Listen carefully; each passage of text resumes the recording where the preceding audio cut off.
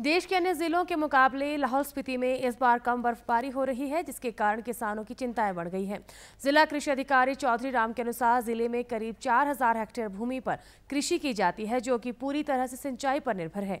उन्होंने कहा कि बर्फबारी से ग्लेशियर रिचार्ज होते हैं और गर्मियों में इसी पानी से सिंचाई की जाती है, लेकिन इस बार अभी तक ज़िले में कम बर्फबारी हुई है। चौधरी राम ने बताया कि मध्य फरवरी तक होने वाली बर्फबारी किसानों के लिए फ़ायदेमंद साबित होगी। इस बार पिछले साल के मुकाबले बहुत कम बर्फबारी हुई है और लाहौल स्पीति में हमारे कम से कम कोई चार हज़ार हेक्टर के करीब करीब कृषि योग्य भूमि है, जो कि पूर्णतः बर्फ़ के जितने भी हमारे ग्लेशियर हैं, उसके पानी के ऊपर निर्भर करता है।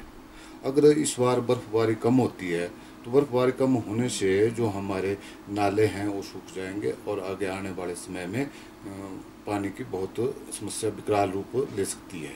आजकल और अगले महीने फरवरी में अगर बर्फबारी ठीक हो जाती है तो ये किसान भाइयों के लिए बड़ी खुशी की बात रहेगी।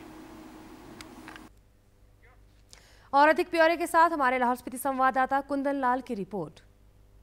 विक्षोभ के सक्रिय होते ही लाहौल स्पीति में सुबह से बर्फबारी हो रही है। अगर हम बात करें तो प्रदेश के अन्य हिस्सों के मुकाबले में इस बार लाहौल स्पीति में बहुत कम बर्फबारी हो रही है। ये बर, बर्फ़ कम पड़ना किसानों के लिए खासकर चिंता का विषय बना हुआ है, क्योंकि यहाँ पे जो अधिकतर कृषि है, सिंचाई पर निर्भर है। अगर सर्दियों में बर्फ़ पड़ेगी तो ग्लेशियर रिचार्ज होंगे और कृषि के लिए पर्याप्त पानी उपलब्ध होगा। लेकिन इस बार जो है बर्फबारी बहुत कम हो रही है, इससे यहाँ के किसान खासे चिंतित है।